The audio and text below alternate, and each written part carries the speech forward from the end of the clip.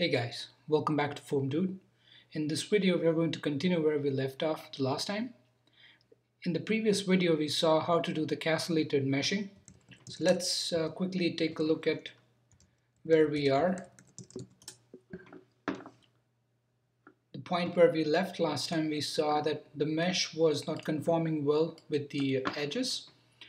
Um, and we saw that after running the first edition of castellated meshing, we were getting sort of like a jagged boundary at the at the interface of our Shinkansen where it intersects with the background mesh.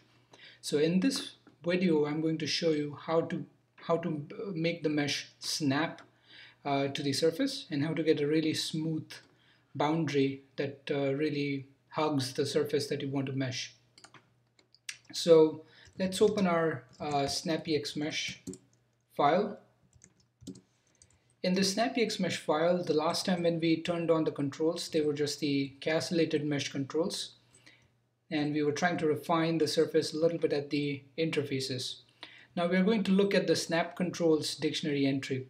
You will see that there are two dictionary controls. One is explicit feature snap and the other is implicit feature snap.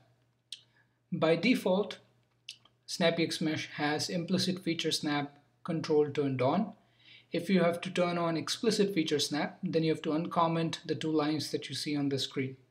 So what happens if you turn on the explicit feature snap is you will have to extract the features separately instead of relying on SnappyHexMesh to extract the features.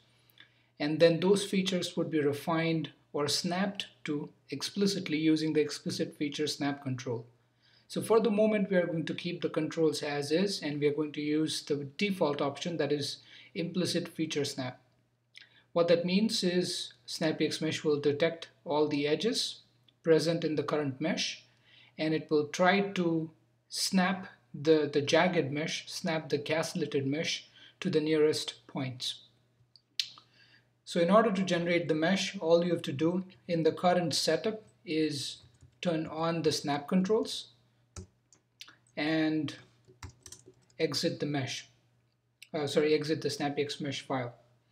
At this point, I'm going to remove the previous time directory. So I'm going to do rm slash rf1 and rerun SnappyHexMesh. It will take probably about 30-35 seconds to run the castellated mesh and SnappyHexMesh all together. You can see that it has already generated time directory 1, which stores the castellated mesh the time directory 2 will store the mesh corresponding to the snap mesh. Uh, as you can see, I did not change a whole lot of controls and you already know that there are a ton of controls in SnappyHexMesh that you can uh, tune in order to get a better quality mesh, but that's those controls and influence of those controls on the mesh quality uh, is a topic for another video.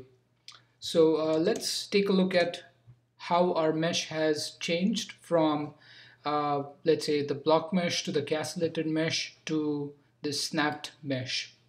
I'm going to make the projection camera parallel and switch my views. So this is where we started the background mesh. This was in the first uh, block mesh tutorial. In the next video where we started with SnappyHexMesh, we did castellated mesh and we ended up with a mesh that looks like this. As you can notice, the finer mesh at the interfaces is because we have the refinement features uh, levels turned on. If you don't have that, it will just have uh, the level 0 background mesh at the interfaces and it will be even more coarser. And now let's look at what happens after snapping. So now you can see the surface is much more uniform and smoother especially you can see uh, across this slanting edge where your mesh really hugs to the surface. And if you were to see how your snap has performed overall you can quickly open your tri-surface. And you can see what exactly has happened in your sorry I must have opened the other file to open STL alright there we go I'm going to make this uh, solid color. And let's change this color a little bit. I'm gonna make this navy blue. There we go. That's our STL and exactly snapped mesh that we achieved after turning on the snap feature. There we go.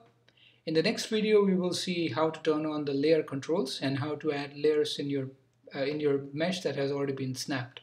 So the logical progression of SnappyHexMesh is going to be creating block mesh, then doing the castellated meshing, then doing the snap mesh to snap the mesh to the surface, and then adding the layers on the surfaces that you wish. Alright, that's it for now, and I will see you in the next one.